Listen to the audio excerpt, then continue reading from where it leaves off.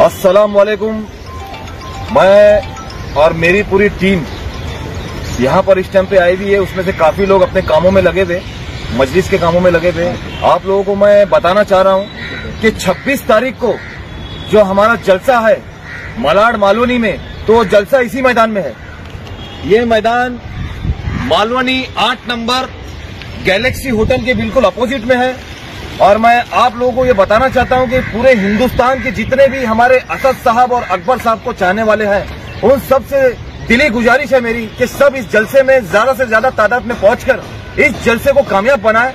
और अल्लाह ताला से यही दुआ है कि ये जलसा पूरे हिंदुस्तान में एक मिसाल पैदा करे। हमारी पूरी ताकत, हमारे पूरे लोग इसमें लगे हुए हैं, रात दिन लगे हुए हैं, हमारी पूरी टीम लगी हुई है।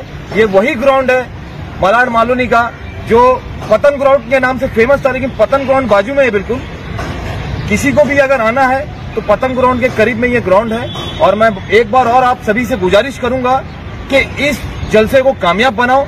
जितने भी मुंबई की टीमें हमारी, जितने मुंबई के जिला है, जितने मुंबई के तालुका है, और मजलिस के जितने भी मुंबई के, महाराष्ट्र के, अपने यूपी के, बिहार के, बंगाल के उन सभी से मैं गुजारिश करूँगा कि ज़्यादा से ज़्यादा तादाद में आप लोग इस जलसे में आइए।